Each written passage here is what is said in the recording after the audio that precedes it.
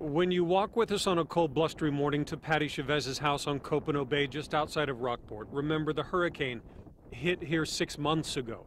And these six months later, this is all she and her husband have left. I was shocked. I was shocked. I was floored. Shocked by two feet of water inside, by the roof and walls and garage ripped away, and by the before and after aerial photos she eventually got from FEMA and shocked by the rest of her neighborhood that still looks like this, including the homes of former neighbors who've chosen not to come back at all. This was a dream. and we want to move back in. We worked so hard to be where we were.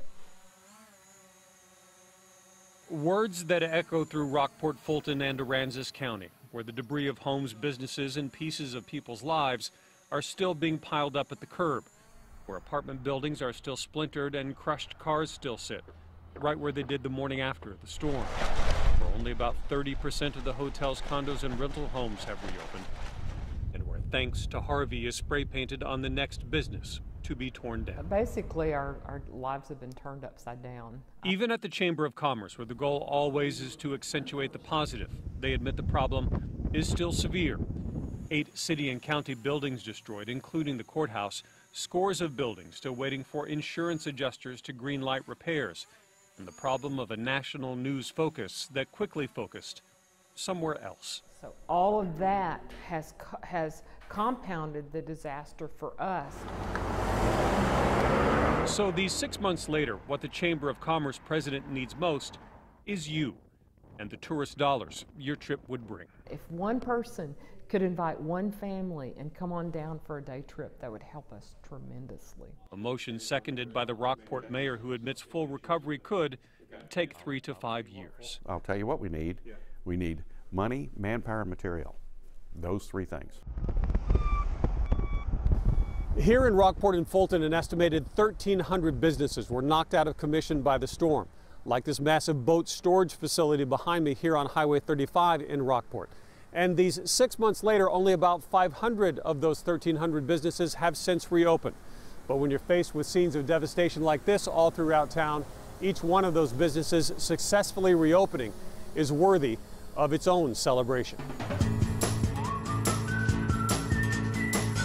Each business, like this liquor store that reopened last week, gets its own ribbon cutting, its own celebratory video by the Chamber of Commerce. Our main dining room. And Ramona Day hopes to be next. And we did not get electricity to this building until November. Her restaurant, Latitude, is nearly ready to reopen after the hurricane peeled back the roof and tore out an entire back wall. I have all the confidence that we're going to come back. I know that we're going to survive this. Think people forgot about you? I know they did. And you don't hear it Rockport on TV. Even in her third month of living in an RV in the driveway of her heavily damaged Rockport home, Mary Lou Sarala offers that same optimism. You've got to have hope. I mean, because this is where I want to live. You know, I know eventually it'll be back. It's just, can we can we stand it until then? We're coming back. And not only that we're coming back, but we're coming back strong we're coming back better than ever. You can bet your bottom dollar on that. The city of Rockport, town of Fulton, Aransas County is open for business. Come on down and visit with us. Uh, we may not be at the level of service we have been before, but we'll get there. As for hurricane survivors like Patty Chavez, and there are many just like her, trying to move forward.